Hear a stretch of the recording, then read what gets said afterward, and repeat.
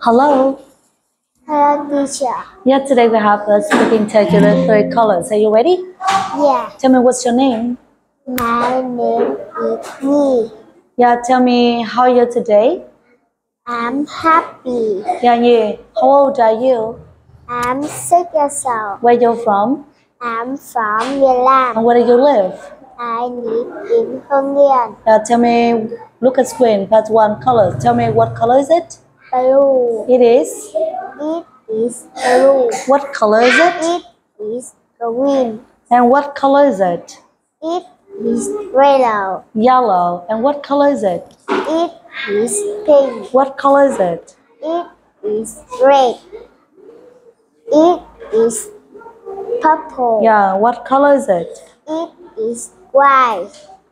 It is black. It is orange. Yeah. Good job, Nelson. It is gray. Gray. It is brown. And look at screen. Tell me what color is the book? It is red. And what color is the pen? It is green. And what color is the eraser? It is pink. What color is the crayon? It is gray. What color is the ruler? It is yellow. Yeah. And what color the board? It is black. What color the backpack? It is blue. Blue? Okay. So tell me what colors do you like? I like red. I like yellow. I like blue. I like green. I like pink. I like white. I like black. I like white. I, I like purple. I like orange.